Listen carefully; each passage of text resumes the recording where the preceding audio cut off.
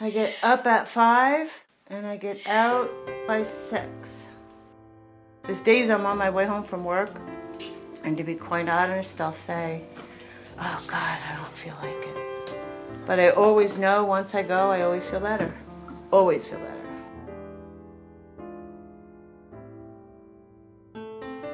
I don't know if a lot of women feel the same way. A lot of it was size. At one point, being much too heavy, and then being extremely thin. And then I had a mindset that thin, extremely thin, is healthy. That was always my goal, is to get into those size two jeans again. And I didn't feel good because I couldn't get there. Now, I think a lot of it has to do with I'm seeing how good I feel, and it might sound like all cliche or whatever, but feeling stronger, I feel better. And my size doesn't matter so much, is, is how I feel. Yeah, I want to look good. I think every woman wants to look good. But I feel good.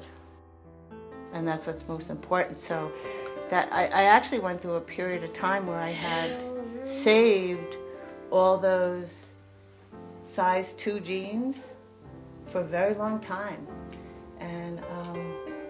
Threw them all away. I threw them all away. If somebody has the same interest and the same um, goals as you, is to stay fit and be healthy, and it, it makes it a whole lot easier to do it with somebody. And I think that is why RD works.